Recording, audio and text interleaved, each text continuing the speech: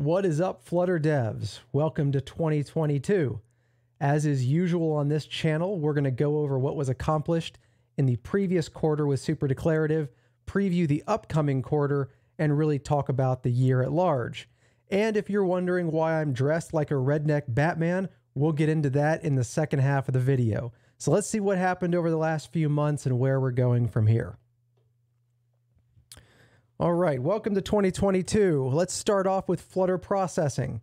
So early in 2021, I said that I was going to port processing over to Flutter. And for the most part, I have accomplished that.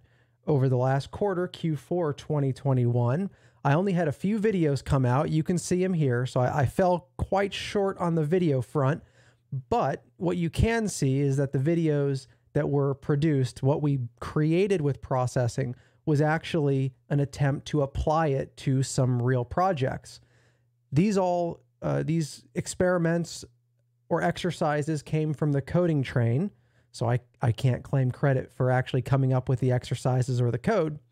But we did prove in those videos that these things could be created using Flutter processing, so we proved out a lot of the APIs. In between these videos, I also added a bunch of new APIs to Flutter processing, APIs that I felt were too simple or just too high in number to be worthy of videos for everyone or every little group of them. Most of the 2D rendering processing APIs are now ported to Flutter, available in the Flutter processing package. I was hoping that I was going to finish Flutter processing in Q4.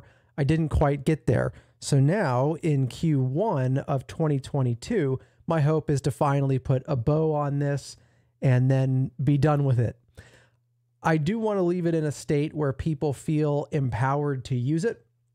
This was at least part of what I did throughout 2021. It was a rather lengthy project, so it'd be nice if somebody made use of it. So I might create some kind of web presence for this, some way for people to find it and to learn how to use it. But in any event, by the end of Q1 2022, I do hope to have Flutter processing totally wrapped up. Now, this was your favorite video on the channel over the last few months, the Flutter Flame War video. For those of you that didn't watch this video, this was me challenging the idea that Flutter should be an application framework. I don't think Flutter is about applications, and I certainly don't think it should ever be a framework.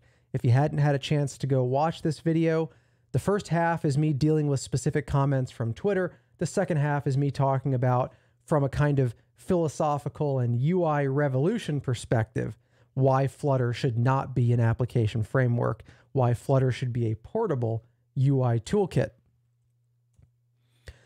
That brings us then to Super Editor. So for Super Editor, I was really hoping to have mobile support shipped in Q4 of 2021.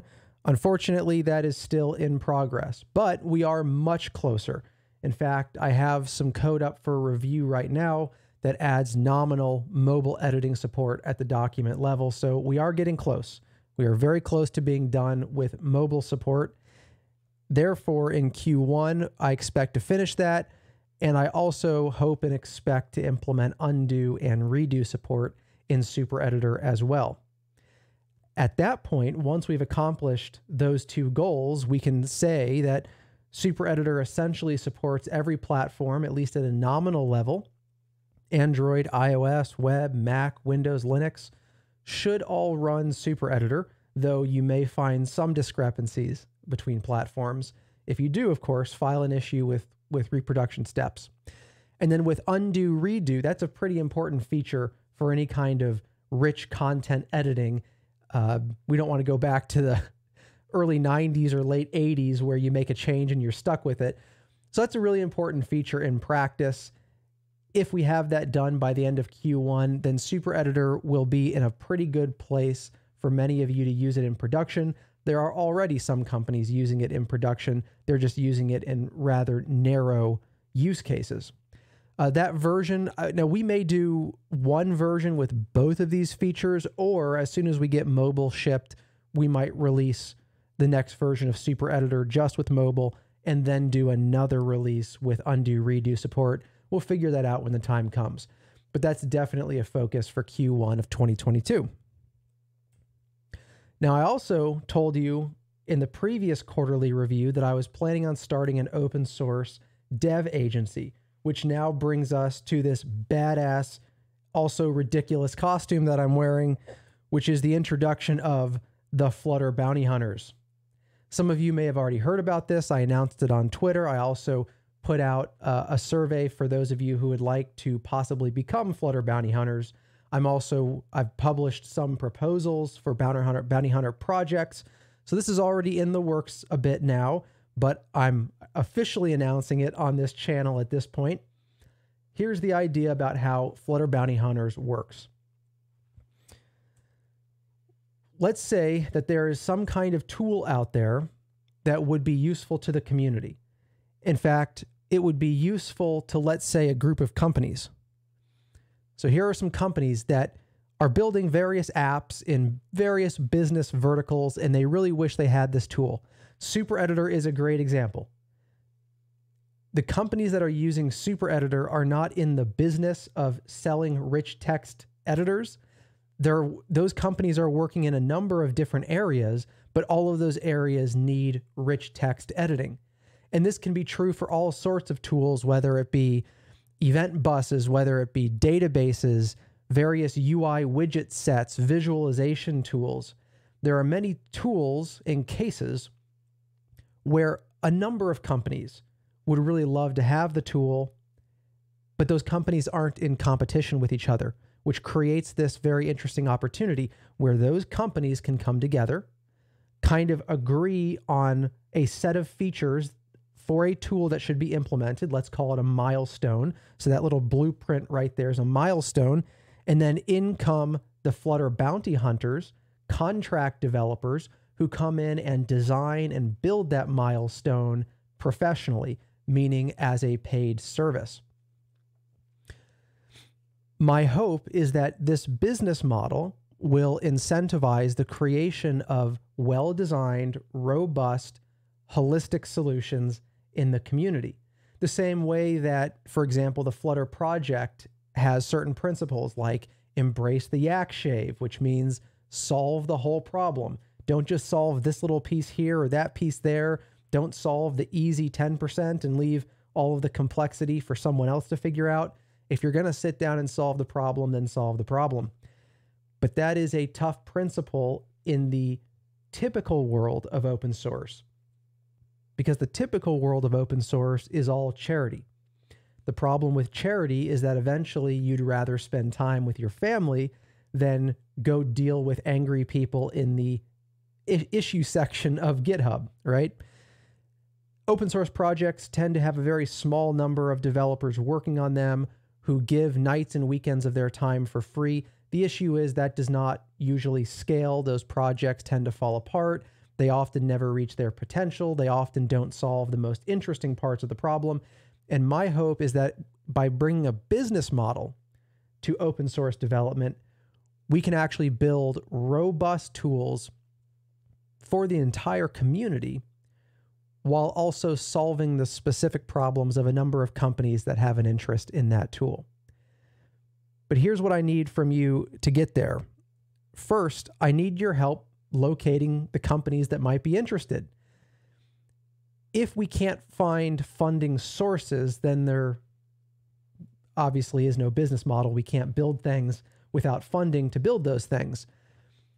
So I'm first looking to locate the companies that understand that there is both a direct interest in funding these kinds of tools for themselves, but also an indirect interest in that as we build a more robust Flutter and Dart community, as PubDev becomes a place where very sophisticated and capable packages are the norm, well, then the safer any company will be that bets on Flutter and Dart.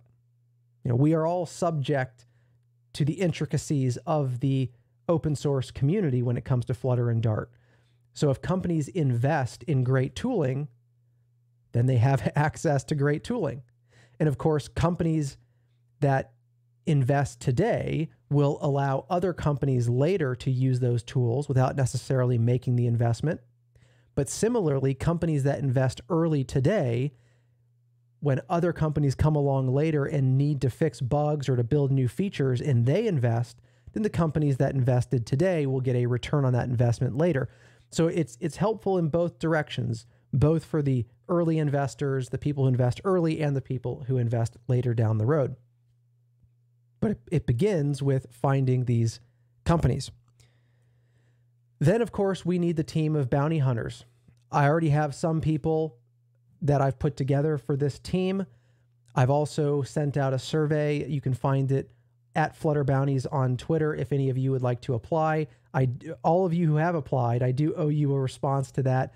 I'll hopefully be getting to that early in the year. But assuming we find funding companies and get some projects started, then over time, I will increase the number of Flutter bounty hunters, and that is a process all its own. So if you're interested in becoming a Flutter bounty hunter, go ahead and fill out that survey. Now, I will say that, that Flutter bounty hunters, this is not like super declarative, is educational. Flutter bounty hunters is about doing a job. So what we're looking for here really are experienced, capable Flutter developers who understand the expectations of essentially paying programming jobs because that's what we're doing with the Flutter Bounty Hunters. And finally, we need to identify the tools that are worth building. Hopefully, when companies show up looking to fund a tool, they are therefore bringing a tool concept with them. But what we can also do is talk as a community about tools that we wish we had. And the Flutter Bounty Hunters can put together proposals for those tools and then use that as a kind of crowdfunding model to attract the companies that look at the proposal and they say, hey, you know, we didn't think about that, but that would be an excellent tool for us and we'd love to fund it. So, figuring out what companies might like and proposing those tools, that's also something that we're looking to do early on. Now, if Flutter Bounty Hunters is of interest to you in any regard, here are all the places that you can find Flutter Bounty Hunters at Flutter Bounties on Twitter flutterbountyhunters.com, flutter bounty hunters on GitHub. The YouTube channel, I have a YouTube channel for it. I don't think I have any publicly listed videos there yet, but the way that I plan to use that channel is that I will be doing a bit of professional education, talking about things like how to design software solutions or to model solutions in software. I'll talk about testing strategies. I'll talk about documentation strategies. I'm going to be putting those videos on the Flutter Bounty Hunters channel so that Flutter Bounty Hunters can watch the videos as a way of learning what the expectations are within the organization. In any event, you can find us at all of those locations. Flutter Bounty Hunters is going to be my primary focus for all of 2022. Well, hopefully, well beyond 2022. But this is kind of the big project for the year for me. I really want to see if we can turn a vibrant community of tools into a business model because I am of the belief that a business model at the end of the day is far more effective than charity. Problem with charity, it's the intention is wonderful. The problem with charity is that eventually you run out of other people's money or you run out of your own money. The great thing about a business is that the revenue supports the cost and the cost builds the revenue. That's what I'll be focusing on mostly in 2022. So that's where we are coming from at the end of 2021, going into 2022. If you have any thoughts or comments about anything you've seen here today, please do go down into the comments section and let me know. If there's anything else you want to put on my radar, feel free to post it below, ask any questions. And with that, I guess I will see you at the end of Q1, the beginning of Q2 in 2022. Happy New Year's and have a great year.